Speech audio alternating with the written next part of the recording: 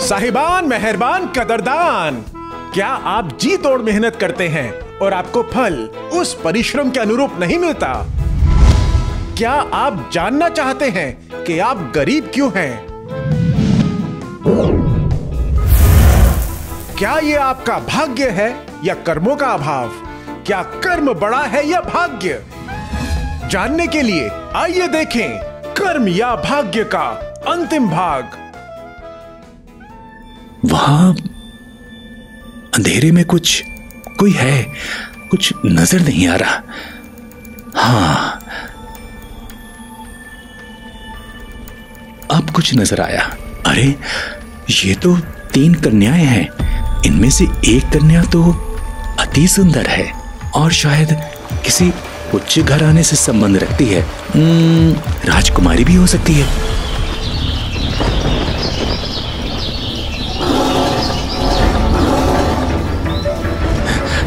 ये शेर की ओह।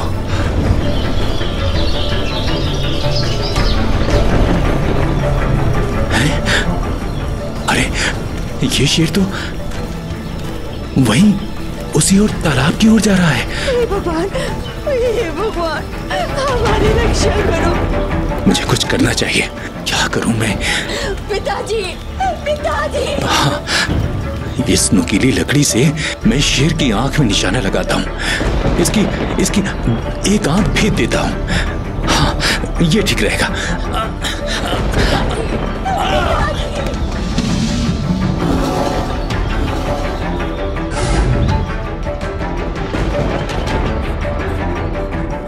युवराज ने तो भाला फेंक कर शेर को ढेर कर दिया। पर आगे जो होगा वो भाग्य है या कर्म? बताओ। यह तो कर्म ही है राजकुमार के। पर मदारी जिज्ञासा थोड़ी घटा। कहानी को आगे तो बढ़ा। जमुरे चल गाड़ी पर गियर लगा। कहानी को आगे बढ़ा। ओके उस्ताद। बेटी हम आ रहे हैं। हम आ रहे हैं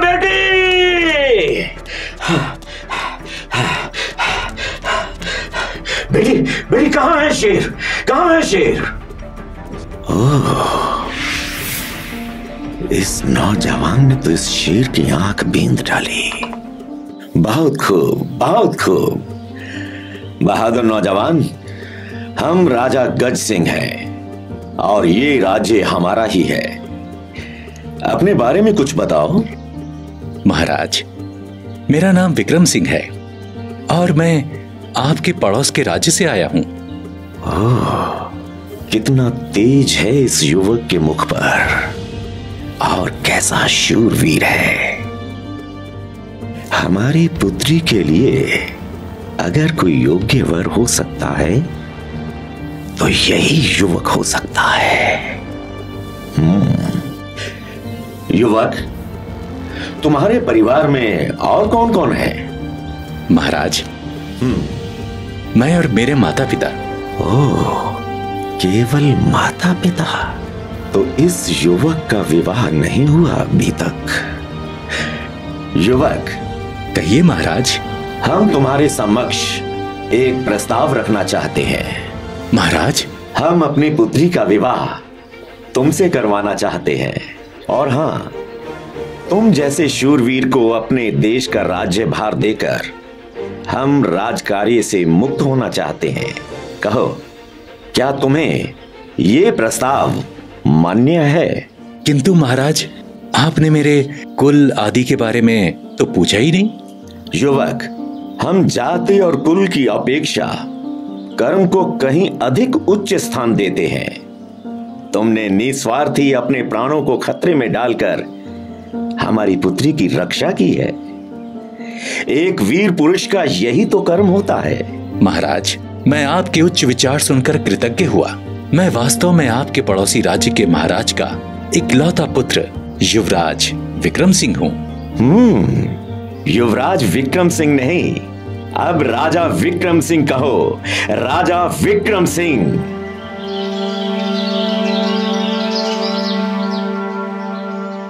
हम्म, तो तीनों ने एक एक दिन की कमाई तो कर ली। अब आगे क्या करना है? मेरी सोच के अनुसार हमें अपने अपने प्रश्नों का उत्तर तो मिल ही गया है। अच्छा तो फिर क्या निष्कर्ष निकाला तुमने? हमें भी तो बताओ। आ, हमारे अनुभव से ये साफ़ हो गया है कि भाग्य ही सबसे बलवान है। कर्म और जन्म समय का कोई महत्व नहीं। वो कैसे? देखिए मैंने आधा दिन अथक मेहनत की, अपनी क्षमता से ज़्यादा परिश्रम किया।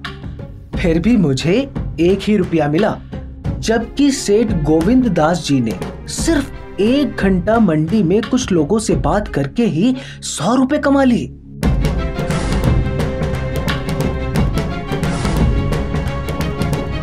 और युवराज, आपने तो एक बाँस निशाने पर फेंक कर ही एक राज्य पा लिया।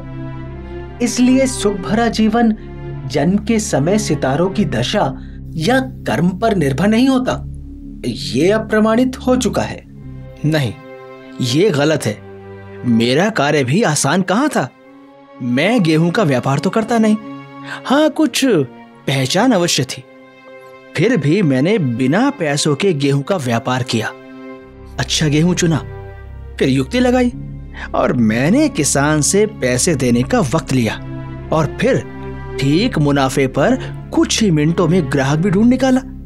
अब सोचो, अगर मैं वो ग्राहक ना ढूंढ पाता तो क्या हाल होता मेरा? भाई, मैंने तो अपने कर्म का खाया है। हाँ युवराज को अवश्य उनके भाग्य का मिला है।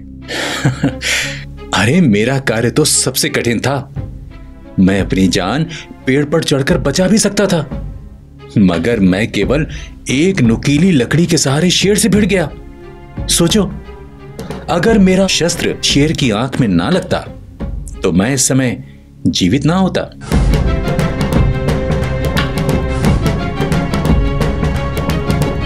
और मेरा शस्त्र शेर की आँख इसलिए भेद पाया, क्योंकि इसके पीछे मेरा कई वर्षों का अभ्यास था।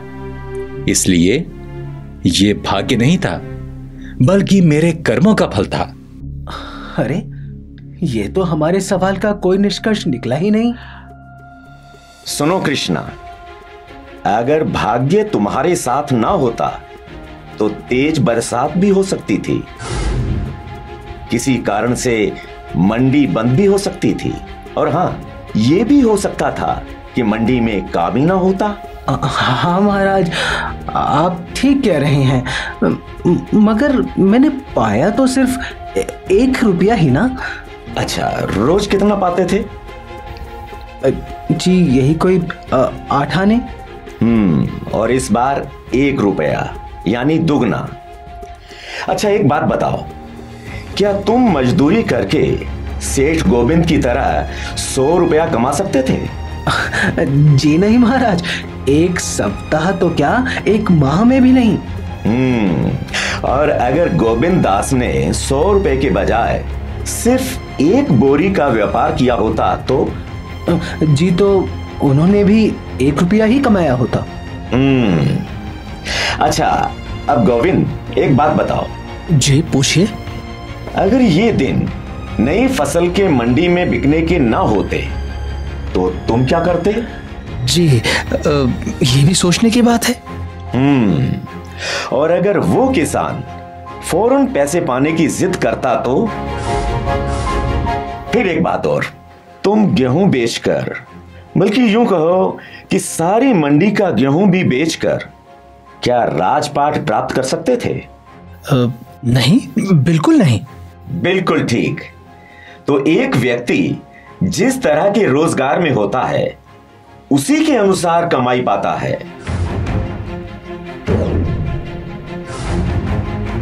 राजा विक्रम सिंह एक बात तो बताइए। जी महाराज। अगर राजकुमारी की जगह यदि कोई गरीब लड़की होती तो क्या होता? तब भी आपको उतना ही कर्म करने पर क्या राजपाट मिलता? जब वो राजकुमारी ही ना होती तो राजपाट कैसे मिल पाता? हम्म तो अब कर्म की बात करें। यदि लकड़हारा उतनी मेहनत ना करता यदि सेठ गोविंद दास को उस दिन धन कमाने की लगन ना होती और उसने अपना पूरा दिमाग ना लगाया होता। और यदि युवराज रात ही में उठकर जंगल को शिकार करने ना जाते तो कदाचित आप लोगों को अपनी अपनी कमाई के दिन खाना भी नसीब ना होता।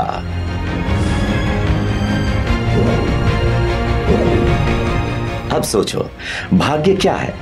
भाग्य ये है कि जब आप कोई कर्म करते हो, कहीं जाते हो किसी से मिलते हो तो आपके आसपास की परिस्थितियाँ आपके आसपास के लोगों की परिस्थितियाँ और उन परिस्थितियों में आपका किया हुआ कर्म ही आपका भाग्य निर्धारित करता है। जी। अब वो परिस्थितियाँ अनुकूल हो भी सकती हैं और नहीं भी हो सकती किंतु भाग्य में कर्म ही प्रधान है। आपको एक बात और बता दूँ? मेरी पुत्री की जान बचाने की कीमत नहीं है, राजपाट। यदि युवराज की जगह पर किसी और शूरवीर ने ये जौहर दिखाया होता तो उसे भी मैं ये राज्य भार सौंप देता।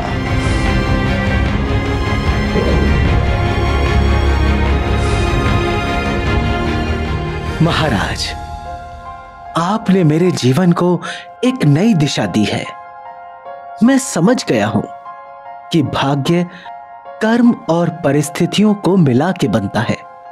और जीवन में परिस्थितियाँ तो भिन्न भिन्न होती हैं, किंतु भाग्य में कर्म ही प्रधान है।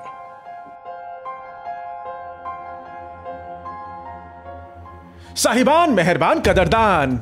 जब जुड़े रहेंगे हमारे साथ, तब बनेगी बात। अगला कार्यक्रम देखने के लिए इनमें से किसी एक वीडियो पर हाथ लगाएँ।